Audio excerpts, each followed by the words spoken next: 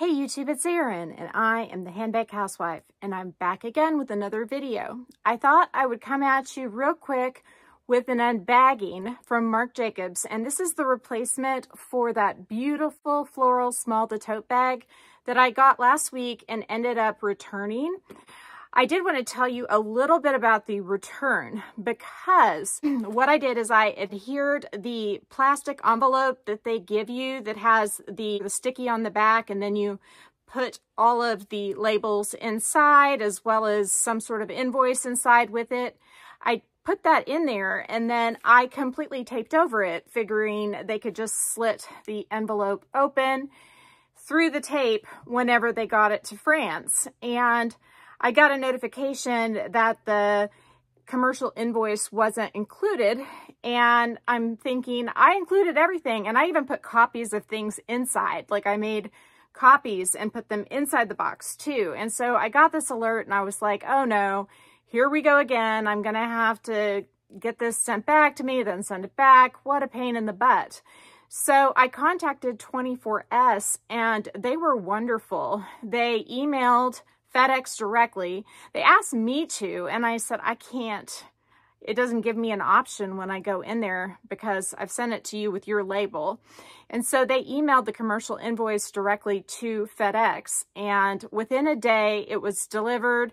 But before it was delivered, I got notification that the customs exception that happened in France, that it had been resolved. So just keep an eye on your tracking when you do send things back to 24S. The reason I taped the plastic sleeve completely over is because the plastic sleeve got literally ripped open the last time I sent something back and all of the documentation got taken out and underneath it was the label from when they shipped it to me. So then they shipped it back to me. And so I completely taped over it thinking, oh, they'll, you know, be able to figure this out. So I would just say, if you're going to tape over it, leave a little bit of it that's untaped so that they can see what you did because I don't think they could tell because I went a little tape crazy. Anyhow, I want to show you my bag of the day. It is my Saint Laurent Small Lulu and I matched it to my top as well as to a ring that I've had for quite some time.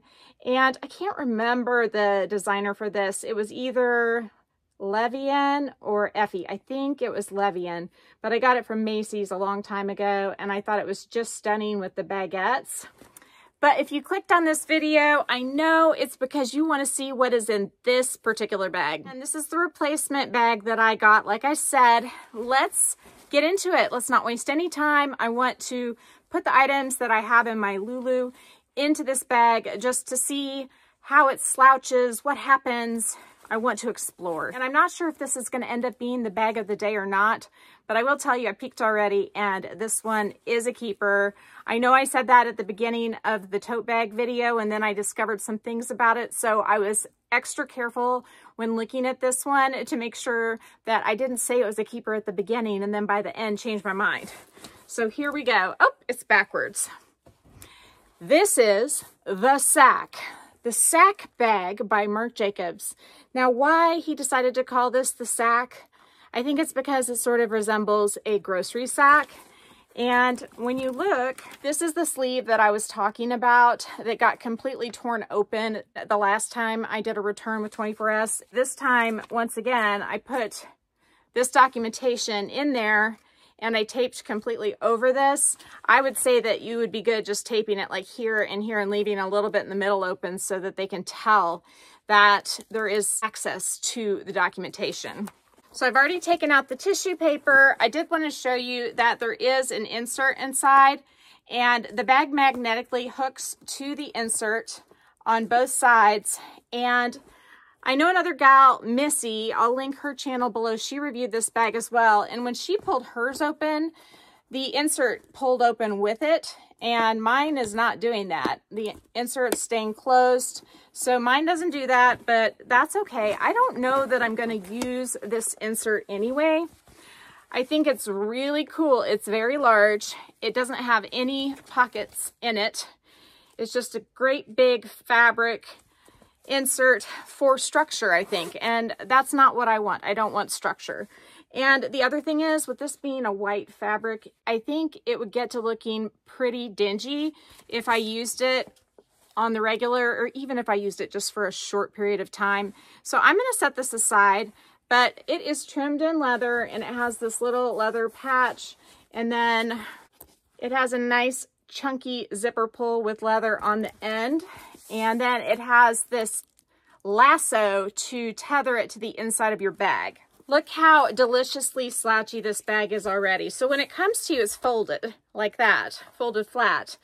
And then when you put your items in, I think if I don't have the insert in, it's just gonna sink in the middle. So I might want to get some bigger pouches than what I keep my things in so that they don't fall out or anything like that. So I might use some of my larger pouches, but I did wanna show you this is all leather on the inside and then there is a slip pocket there that you could put your phone in. And if you had your phone in there, I think that it would stay put pretty well. The construction of this bag is kind of interesting. You can see it's folded and then up here, it's just sort of stitched right there and there.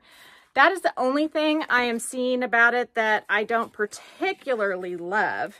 But I have tried it on my shoulder and it feels comfortable. So I just feel like it should have been stitched a little better, but maybe he didn't put more stitches in there because he didn't want to have the stitches be uncomfortable.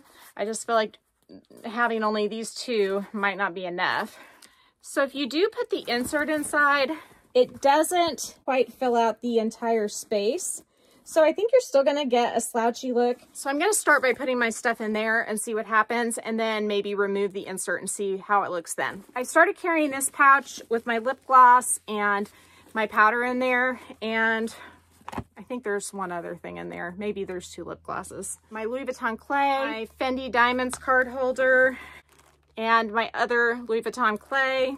I usually carry two of the clays at one time and then one card holder, although I could certainly carry something bigger in this bag if I wanted to. And then I've got two AirPods cases, a glasses cleaning cloth, and my car key. I'm just going to toss all this in there. There's going to be oodles and oodles of room for Diet Dr. Pepper if I want to bring some. And then I've got this little pouch that I carry things that are sharp, like nail files and tweezers and stuff like that. And then I put medicine in this little jewelry pouch because it's nice and flat, kind of like a card holder.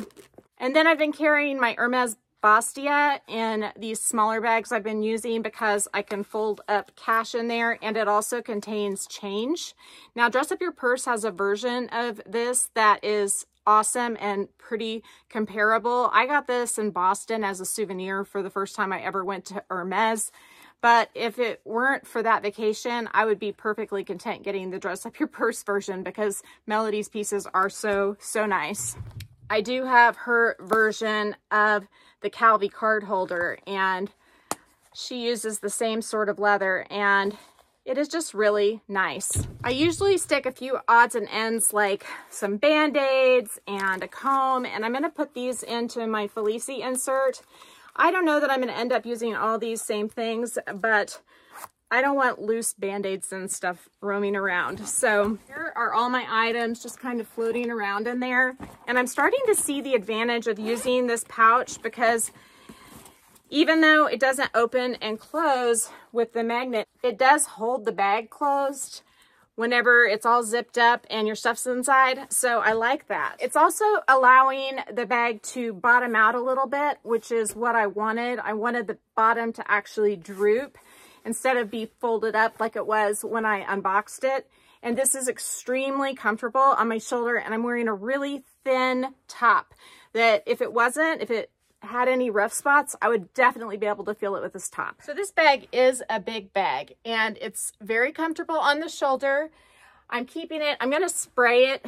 I'm gonna spray it like crazy with Collonil Carbon Pro all over it before I use it. I may even spray the little insert as well because that Collonil Carbon Pro works extremely well even on fabric. A lot of times I'll spray my tops because then deodorant wipes right off of them. And so I like using it. Apple Garde's great too, but, but I prefer the Collonil Carbon Pro because I think it sprays more evenly.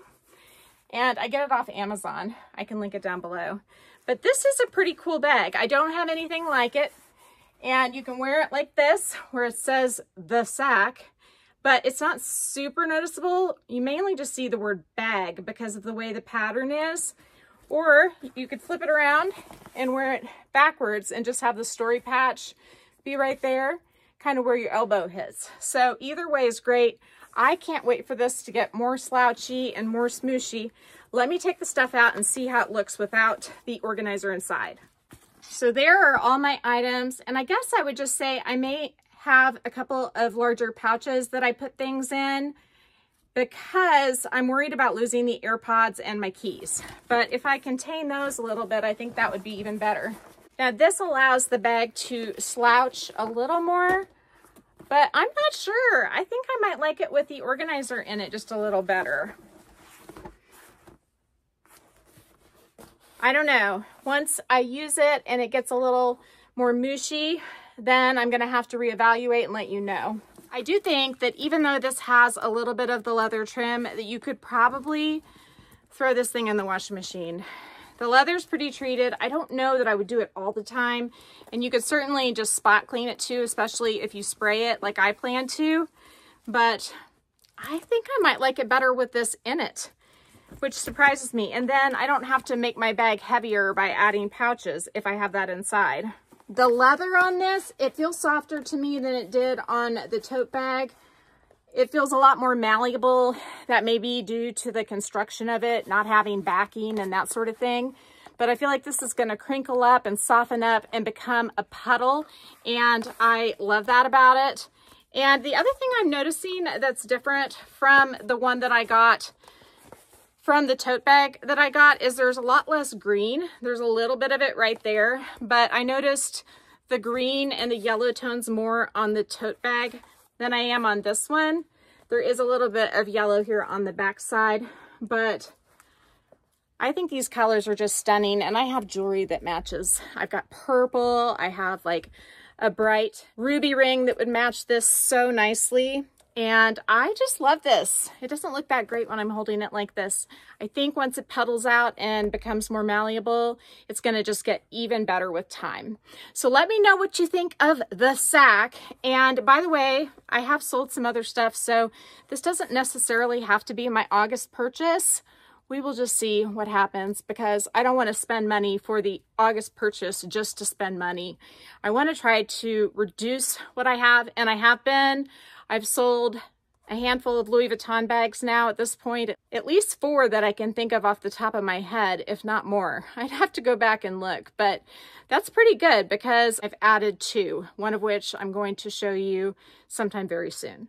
So if you enjoyed this video, please give me a big thumbs up. If you haven't subscribed to my channel yet, what are you waiting for? Do it and ring the notification bell so that you are notified of future exciting content such as this. Also, go find me on Instagram. The name there's the same. It's the at symbol, then the handbag housewife, all lowercase.